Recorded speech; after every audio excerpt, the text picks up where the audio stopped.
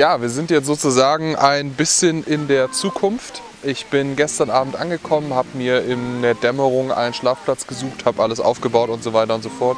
Und bis 22 Uhr abends war auch kein Problem, aber dann ging es los. Ja, Sturm, Schneeregen, Schneesturm, alles immer wieder abwechselnd die ganze Nacht durch. Ja, ich habe, wenn, immer nur kurzzeitig geschlafen am Stück. Ähm, und es kam von allen Seiten, ja, überall. Dann hatte ich meinen Biwaksack gerade offen, weil ich noch gutes Wetter in Erinnerung hatte, weil ich hatte ja meinen äh, Platz aufgebaut während guten Wetters. Und dann ist mir eine Schneelawine, eine kleine sozusagen, in den Biwaksack reingerollt. Ich habe möglichst viel rausgeholt, aber trotzdem dann Wasser in meinem Biwaksack gehabt, ziemlich viel sogar. Ja, und bis morgens war das immer nur ein Kampf und der ganze Sturm und Regen und sonst was hielt bis 10.30 Uhr an. Also ich lag die ganze Zeit einfach nur eingekauert. Ja. Zum Glück habe ich den Defense 6 mitgenommen. Der hält das ganz gut aus. Ähm, ja, ich habe heute Morgen nicht filmen können, weil über Nacht äh, meine ganzen Actioncam-Akkus sind entladen.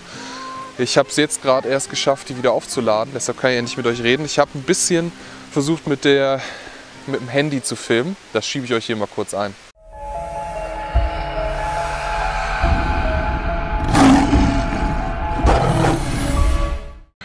Ah. Moin moin Leute, ich bin hier im Winterwunder Survival Biwakland gelandet. Ich habe jetzt gerade mal keinen äh, Regen, Pissregen, Schneeregen, was auch immer, wie man das nennen will. Und der Sturm hat sich auch gelegt. Ich lag eben bis 10.30 Uhr, glaube ich, nur im Schlafsack, weil ich nicht raus konnte. Es war zu heftig alles. Ähm, ich versuche jetzt mal ein bisschen weiter zu wandern. Alle Batterien meiner Actioncams haben sich über Nacht entladen. Das heißt, ich konnte noch nichts drehen oder sonst irgendwas in der Richtung. Ähm, ich suche erstmal eine Hütte, wo ich das aufladen kann.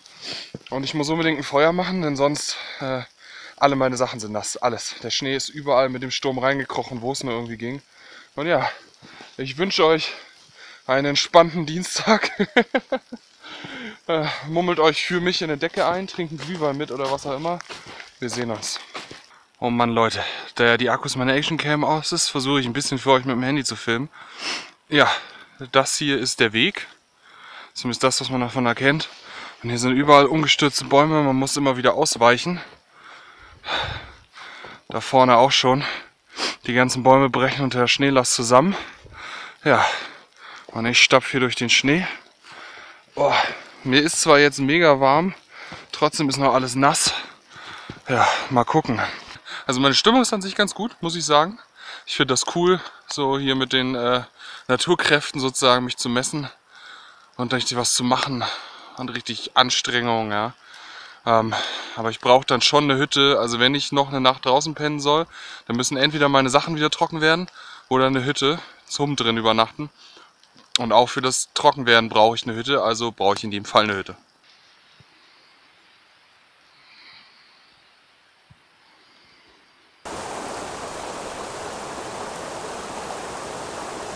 Dann bin ich ein bisschen weiter gewandert noch heute Morgen. Ich habe mir echt kurzzeitig überlegt, na, brichst du jetzt ab, weil du so nass auf Knochen bist. Ja, ähm, hab dann aber gesagt, du versuchst jetzt äh, mit Batonen an trockenes Holz zu kommen und mit dem Hobo alles ein bisschen zu trocknen, wenn du eine Schutzhütte findest. Ja. Also nochmal so mit Biwaksack draußen würde gerade nicht gehen, weil das kriege ich nicht mehr trocken. Aber ich habe eine kleine Schutzhütte gefunden. Guck mal da drüben. Die habe ich mir auch schon abgedeckt ein bisschen. Ja. Das ist mehr so Privatsphäre-mäßig, also viel hilft das nicht, vielleicht ein, zwei Grad oder so. Ja. Und jetzt werde ich gleich erstmal, oberste Priorität hat, den Schlafsack trocken zu kriegen. Ähm, weil das wäre schon die halbe Miete, weil dann kann ich zumindest die Nacht noch äh, angenehm halbwegs verbringen. Ja, alles kriege ich auf gar keinen Fall trocken. Dann werde ich noch gucken, dass ich noch ein frisches T-Shirt trocken kriege oder das, was ich anhabe, je nachdem, was äh, weniger nass ist sozusagen. Mir die Daunenjacke überziehen und mir dann versuchen, einen angenehmen, hübschen Abend zu machen hier. Aber eigentlich geht das ganz gut bis jetzt. Ja. Ein paar Stücke Geheimzutat haben mir sehr geholfen. Und ähm, ja, zeige ich euch mal das Holz, das ich gemacht habe. Hier habe ich mir dann jetzt ein bisschen Holz vorbereitet. Und ja, ich weiß nicht, ob man es sieht, aber der Schlafsack ist auf jeden Fall gut feucht, auch teilweise von innen. Ja, das muss natürlich nicht sein. Deshalb ähm, ja, werde ich jetzt mal gucken, dass ich das trocken kriege. Ähm, ich bin jetzt insgesamt schon so 10, 15 Kilometer gewandert. Also ich bin hoch von Schierke zum Brocken, habe mir da einen Platz gesucht. Ähm, man hat auch gesehen, da ist keine Sau sonst lang gekommen ne? Ähm, beim Hexenstieg. Also ein paar Füße ist den Weg auch vorher lang gegangen, den ich dann gegangen bin. Äh, wahrscheinlich der Förster. Ähm, also relativ alleine hier an der Kreuzung, an der Schutzhütte kommen jetzt schon noch mal ab und zu ein paar Leute vorbei. Nicht viele, aber so pro Stunde kommt mal einer vorbei. Ja, gucken wir mal. Ähm, ja, das heißt, ich will hier heute noch das zweite Mal dann draußen schlafen ja, und dann morgen noch ein bisschen wandern und ich denke dann morgen Abend wieder den Bus zurücknehmen. Dann war ich zwei Tage unterwegs. Ähm, das reicht mir, weil ähm, ich hatte am Anfang ja vor, den Harzer Hexenstieg zu Ende zu laufen, bis nach Thale. Das schaffe ich aber bei dem Schnee einfach gar nicht. Ja? Und auch bei den Wetterbedingungen. Ich kann ja teilweise stundenlang nicht wandern, vor allen Dingen heute Morgen, weil ja die ganze Zeit Sturm war. Ja? Geht halt einfach nicht. Da muss ich mich dem Wetter fügen und sozusagen ein ja, klein, mehr stationäres Winterbiwak draus machen. Aber ja, sozusagen im Kampf mit der Natur, da habe ich Bock drauf. Das macht mir Spaß.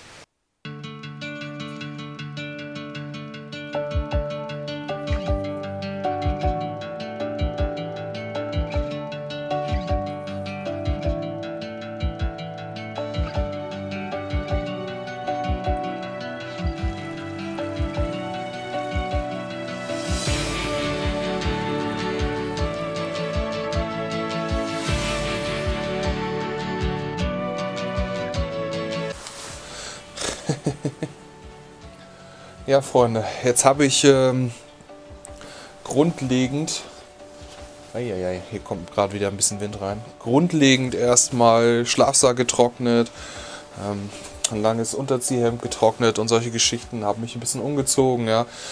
Mir ist jetzt deutlich gemütlicher, meine Stimmung ist auch wieder ein bisschen gehoben. also eigentlich alles gut wieder, ja. Ähm, ja, es ist eine richtige kleine Herausforderung, ja so bei Sturm und Schneeregen und so ähm, draußen unterwegs zu sein. Das mit dem Tarp hat so halb gut geklappt. Ja, ich werde gucken, ob das daran liegt, dass ich Tarps noch nicht so gut abspannen kann, ob das einfach an dem Platz gestern lag oder sonst irgendwas. Da werde ich aber im, im Resümee nochmal dann mir Gedanken drum machen. Ja, ja und jetzt äh, gucke ich mal. Später mache ich mir vielleicht noch einen Tee, erkunde noch ein bisschen hier drum die Natur und dann nehme ich euch doch mal mit.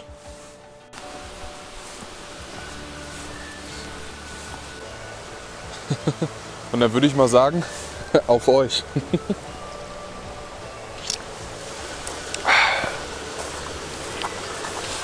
Ah, so im Schnee, Eis und Kälte. Ich hoffe, man hört mich gerade auch. Der Fluss ist sehr laut.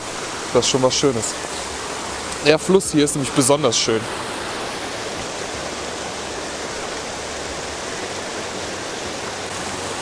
Und da vorne geht er dann noch weiter lang. Begleitet sozusagen den Weg darunter. Ja? Diese Down-Unterziehjacken, die haben schon ein erstaunlich gutes Isolationsverhältnis, solange sie nicht nass werden. Ne? Also muss man echt sagen, ein mega kleines Packmaß. Und dann ja, am besten in einen ähm, wasserdichten Packsack packen. Und dann abends ja, oder wenn die anderen Sachen nass sind oder so, wie ich gerade, einfach drunter ziehen oder halt außen drum ziehen. Weil ich muss sagen, mein Hemd und meine andere Trekkingjacke, die sind bis auf den Grund nass. Also komplett. Und, jetzt fällt mir übrigens gerade noch was ein, was ich noch mal erwähnen wollte. Jetzt ist mein Gepäck auch ungefähr gefühlt 5 Kilo schwerer. Und das meine ich nicht aus Spaß. Also das kommt bestimmt an äh, drei Kilo äh, extra Gewicht oder so ran. Nur wegen dem scheiß Wasser. Das habe ich richtig gemerkt beim Wandern vorhin. Also das ist schon, das ist schon übel. Ja. Und jetzt stellt sich natürlich die Frage, was macht man? Eieiei, jetzt geht es wieder los. So. Aber ich muss sagen, jetzt ist der Tag relativ friedlich. Ja? Seitdem es ein bisschen aufgehört hat. Wahrscheinlich war das so äh, das Begrüßungsunwetter für mich. Ja. Eieiei, ey. Das ist auch wieder typisch, ne? Ich schiebe den Termin Harz zwei Wochen vor mir her, beziehungsweise ich schiebe den nicht her, ich musste ihn mehrmals verschieben wegen anderen Terminen.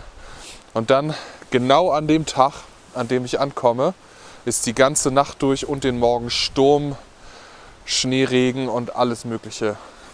War wieder klar, ne? Aber ich nehme es mit Humor. Ja? Ich habe ja jetzt hier die kleine Schutzhütte gefunden und mache mir richtig einen entspannten, ein bisschen abschalten. Ja? Wunderbar. Ein kleines Lager habe ich mir mittlerweile auch aufgebaut. Ja? Hier ist schon mal die Isomatte drunter gelegt. Ja? Die ist über, äh, übrigens top. Also ich muss immer wieder sagen, es erstaunt mich, wie gut die ist für so wenig Geld. Ja? Schaumstoff-Isomatte, top. Habe ich euch auch letztens im Flotten 3 empfohlen und kann ich nur immer wieder bestätigen. Ja, jetzt habe ich den hier schön hingelegt. Ja. Ist äh, innen hauptsächlich trocken, aber immer noch nicht perfekt. Hier seht ihr übrigens das Bertrand-Futter. Ja, Habe ich jetzt schon drei Sorten ausprobiert. Vanille, Blaubeere und Apfel. Ich muss sagen, Granatapfel finde ich bis jetzt am geilsten. Ähm, und bis jetzt habe ich keine Beschwerden von wegen nicht leicht zu machen oder gibt mir nicht genug Energie oder sonst irgendwas. Also alles top bis jetzt. Kann ich meckern und ist halt durchaus praktisch. Ne? Man muss nicht kochen. Man muss es nur äh, zurecht kippen und dann zurecht schütteln. Ja? Und dann funktioniert das auch. Also ist, ich, ich glaube, ich würde nicht damit hauptsächlich wieder auf Trekking gehen. Ja, ich habe zwar noch ein bisschen Schokolade dabei, aber das ist halt mein Hauptessen. Ähm, einfach der Abwechslung wegen, ja. Weil es schon schön ist, sich abends mal ein paar Würstchen zu machen oder sowas. Aber so ein, zwei von den Dingern werde ich bestimmt ab jetzt auf jede längere Trekkingtour mitnehmen. Einfach weil sie praktisch sind, nicht viel wiegen, eine vollwertige Mahlzeit für 500 Gramm sind für den ganzen Tag. Ja? Also ein so ein Beutel wiegt ja knapp 500 Gramm und der hält ja für den ganzen Tag Nüsse halt. Ne? Da sind ja viel gemahlene Nüsse und sowas drin. Und wir wissen ja, Nüsse sind das beste Autoessen, das es überhaupt nur gibt. So langsam wird es dunkler, aber, was heißt ja aber, meine Stimmung hat sich mittlerweile deutlich gehoben, muss ich sagen. Ähm, mir ist jetzt zwar nicht pudelwarm, aber mir ist ausreichend warm. Ja. Ich habe alles da, der Schlafsack ist halbwegs trocken, sodass ich vernünftig drin schlafen kann später. Ja. Mein Handy ist wieder aufgeladen. Ist echt krass, ne? Bei Winter, wie schnell sich Akkus und sowas entladen. Meine Powerbank, ja, die, ich glaube, was hatte sie, 20.000 Milliampere hat. Ähm, da habe ich jetzt einmal mein Handy aufgeladen, das war aber nur drei Viertel alle, also nicht ganz. Und ähm, zwei Actioncam-Akkus, das macht zusammen knapp 5000 Milliampere, ähm, ist jetzt schon zur Hälfte alle. Das heißt, ähm, ja, der Winter hat mir mal eben 5000 Milliampere geklaut. Ähm, soll mich jetzt nicht weiter stören, weil ich bin ja nicht ähm, mega lange unterwegs. Das heißt, das reicht alles, aber ähm, ja, hätte ich gewusst, wie anfällig die Actioncam-Akkus sind, vor allem, das ist mir so noch nie passiert, ja, dass die wirklich so entladen waren dann ähm, bei der Nacht. Ja, das ist mir ein Rätsel. Also ich glaube, ich muss mal ähm, qualitativ hochwertige neue Actioncam-Akkus kaufen. Ja, auch größere, da geht ja mittlerweile mehr, äh, mehr Energie rein, mehr, mehr Speicherplatz wollte ich fast sagen, aber das ist ja das falsche Wort. Ähm, weil äh, das ärgert mich richtig, ja, dass ich den heutigen Morgen nicht, nicht drauf habe. Ja. Obwohl ich auch sagen muss, ich, selbst wenn voll aufgeladen und so gewesen wäre. Ich glaube, ich hätte nicht heute Morgen gefilmt, ähm, weil A war ich viel zu sehr damit beschäftigt, mein Tab nachzuspannen, hier was zu retten vorm Schneesturm und dieses und jenes zu machen und meine Stimmung auch viel zu sehr am Boden, ja, als dass ich, glaube ich, groß gefilmt hätte, wenn ich ehrlich sein soll. Also ich glaube nicht, dass das viel geworden wäre. Ja. Deshalb ha, ist es jetzt so, wie es ist. Ja filme hier noch meine kleine Winter-Biwak-Tour ja, nach dem Survival-Erlebnis. Und ähm, morgen ist ja auch noch ein Tag. Die, in der Hütte ist es mittlerweile schon recht dunkel, also fast finster, weil da kaum noch Licht reinkommt. Hier draußen ist noch Licht, ja, aber das ist ja so im Schnee. Ne? Auch wenn ich gestern rausgeguckt habe, nachts, ja, selbst um 4 Uhr morgens, ja, ich war um 4 Uhr morgens wach, weil mich der scheiß Schneesturm immer wieder aufgeweckt hat, ähm, ist ja hell, ne? Im Prinzip kannst du ja trotzdem ein paar Meter weit gucken, ist ja gar kein Problem. Das ist halt echt das Geile am Schnee. Ich muss sagen, ähm, da kommen natürlich ein bisschen Erinnerungen hoch zur ersten Westweg-Tour, die ja so schief gegangen ist, ja, wo ich dann auch so demotiviert war. Aber ganz ehrlich, ich habe super gute Laune. Ja. Ich bin äh, deutlich erfahrener, was Unwetter mittlerweile angeht. Ich habe deutlich bessere Ausrüstung mittlerweile, beziehungsweise bessere Ausrüstung für die jeweilige Situation mittlerweile. Ja. Ähm, ich kann auch mit sowas ein bisschen besser umgehen und ich bin einfach grundlegend entspannt. Ja. Also ich freue mich richtig, dass ich hier bin. Es ist richtig Winter-Wunder-Schneelandschaft. Ich bin teilweise, ja nicht überall, aber teilweise ähm, wirklich bis zu den Knien und weiter reingesackt in den Schnee. Also richtig so fuck und dann war ich weg. ähm, aber der Ausflug hat sich gelohnt, muss ich sagen. Ich bin richtig glücklich. Vor allen Dingen, ich sehe das erste Mal jetzt im Jahr Schnee, weil äh, in Norddeutschland hat es noch kein einziges Mal auch nur ansatzweise geschneit geschneit. Ja. Oh, da kommt schon wieder Winde.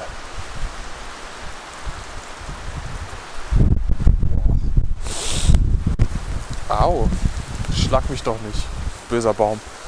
Ähm, man hört es immer wieder, meine Hände frieren auch ein bisschen ab. Da habt ihr auf jeden Fall recht, denn einige von euch haben in den Kommentaren geschrieben unter meinem Ausrüstungsvideo zu dieser Tour, ähm, dir fehlen noch Handschuhe. Und ja, ihr habt recht. Mir fehlen Handschuhe. Ja, ich habe zwar richtig dicke, wollige Lederhandschuhe, aber die sind mir zu schade, um sie auf Outdoor-Tour mitzunehmen, weil die sind eigentlich fast sowas wie Ausgehhandschuhe. Ja? Ähm, und ansonsten nur so ganz dünne Arbeitshandschuhe. Ich muss mir noch mal was dazwischen besorgen. Ja? Vielleicht hat da ja einer von euch einen Tipp. Das wäre sehr geil, was es da so gibt. Dann können wir uns da mal ein bisschen austauschen. Und dann hole ich mir die auf jeden Fall. ja. Stapp, stapf. Ach, ich freue mich einfach über den Schnee, ganz ehrlich. Ne? Ich weiß ja, Autofahrer hassen ganz oft Schnee. ich finde ihn einfach total geil, ja. Und wie das immer aussieht, wie so ein Winterwunderland Zuckerguss Gemälde. Ja?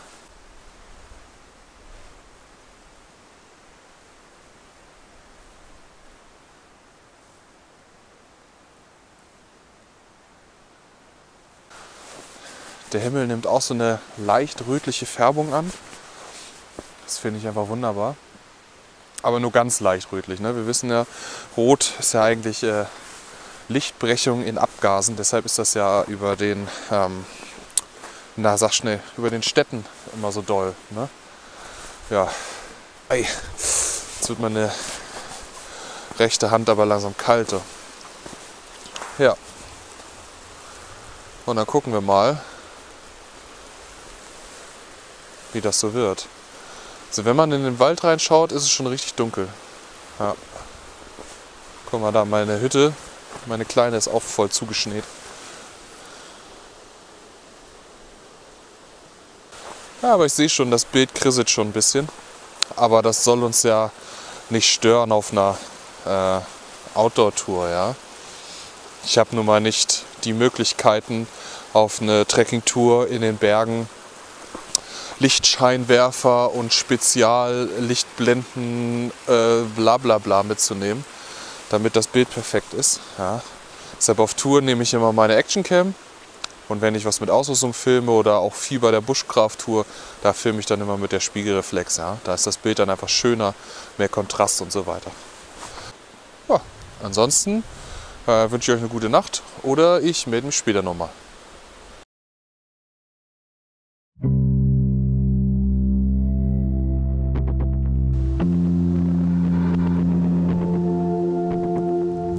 Moin Moin, na, alles klar bei euch? Ich bin gerade aufgewacht. Ja. Die Nacht war wieder mega stürmisch. Also von überall Geräusche, die Plane ist ständig rumgeflattert, einmal sogar rausgerissen. Aber insgesamt, ja, passt schon, ne? Nicht so schlimm wie die gestrige Nacht. Und ja, jetzt äh, frühstücke ich noch ein bisschen. Ja.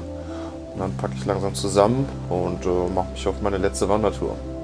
Eieiei, der Wind geht und meine Hose ist noch nass und jetzt natürlich richtig schön kalt von gestern. Ähm, beide Trekking-Socke-Paare sind mittlerweile nass geworden. Ich wünsche nicht mal meinem ärgsten Feind morgens ähm, in eine nasse kalte Hose und nasskalte Socken reinzugehen. Echt. Uah ekelhaftes Gefühl. Ganz widerlich. Man kommt so aus dem Schlafsack raus, ja. Wärme, Geborgenheit und dann geht man da rein. Naja, ich muss sagen, das Apfelzeug finde ich tatsächlich am besten. Und ähm, als Frühstück begeistert es mich auf jeden Fall. Also ähm, abends würde ich mir doch lieber ein paar Würstchen lecker warm machen. Aber so, um morgens damit durchzustarten, so ein bisschen ähm, ja, Trinkmüsli fast ist das nur irgendwie bio und mit allem drin, was man halt so braucht. Finde ich ganz gut. Ja, hat mich bis jetzt überzeugt. Als Frühstück auf jeden Fall. Zum Glück regnet es oder schneit es nicht jetzt beim Losgehen. Ich habe jetzt langsam alles gepackt. da seht ihr meinen vollgepackten Rucksack. Vorne dran mit der dicken Isomatte. Top. Ja, der kann man echt nichts falsch machen. Könnte ein bisschen bequemer sein, aber so ist das ja bei Schaumstoffmatten. Mein Filmzeug, das ist die Bertrand-Bottle, ne? Ja. Mit gut festgezogenen Lastenkontrollriemen. Und ja, dann würde ich sagen, wandern wir doch mal die Strecke zum Bahnhof. Ja, dann ist die Tour schon fast wieder vorbei. Aber für das letzte Stück nehme ich euch natürlich wieder mit.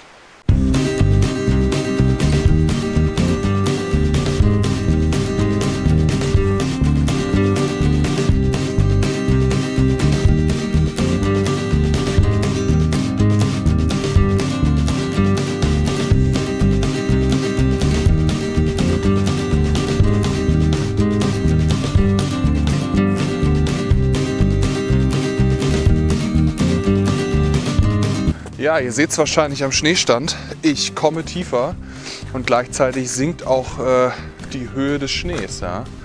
Also jetzt sieht man schon wieder grünen Waldboden durchblitzen, während vor, ja, keine Ahnung, wann ich losgewandert bin, ähm, da hast du den Waldboden nicht mehr gesehen, aber auf keinsten. Da stand sie bis über den Knöcheln im Schnee drin. Ja, man merkt, dass ich sozusagen gerade ins Tal wandere. Ähm, die Tour hat mir bis jetzt mega Spaß gemacht, muss ich sagen.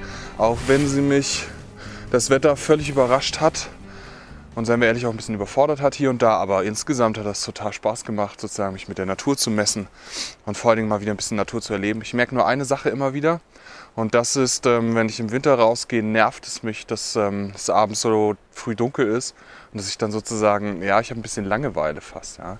Ich kann ja, also Holz gebatoniert und einen Tee gekocht. Das dauert eine Stunde, wenn ich mir Zeit dabei lasse. Ja, und was mache ich dann mit den restlichen sechs Stunden im Dunkeln? Ja, so viel lesen oder Filme gucken oder so kann ich gar nicht. Das ist ein bisschen langweilig. Da muss ich mir mal irgendwie was überlegen. Oder halt äh, nur noch rausgehen, wenn es halt erst nach 19 Uhr dunkel wird oder so. Ja, also zumindest so auf längere Touren. Ja. Müssen wir mal gucken. Naja, ich wandere erstmal weiter.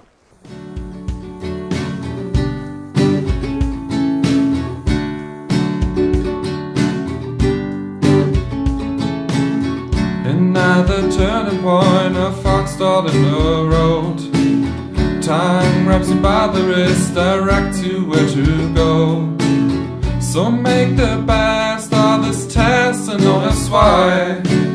It's not a question, but a lesson learned in time. It's something unpredictable, but in the end it's right. So, meine lieben Freunde, an dieser Stelle endet dann die Tour auch schon wieder. Ich komme wieder langsam mehr so in zivilisierte Gebiete und ähm, ja, da gibt es ja nichts Schönes mehr zu filmen. Ne? Ich wollte dann an dieser Stelle schon mal Tschüss zu euch sagen. Ähm, die Tour fand ich geil hat mir aber auch ziemlich viel Kräfte abverlangt und hat mich einiges gelehrt. Also an der Ausrüstung und am Verhalten und sowas muss ich ein paar Dinge ändern. Ähm, ja, würde ich sagen, auf jeden Fall für die nächste Tour dann ordentlich was mitgenommen. Und deshalb habe ich damit auch überhaupt kein Problem. Und ja, Wenn dir das Video gefallen hat, dann lass mir doch ein Like da, abonnier mich, dann verpasst du die nächste Wintertour auf keinen Fall. Und wir sehen uns dann beim nächsten Video. Bis dahin, tschüss, tschüss.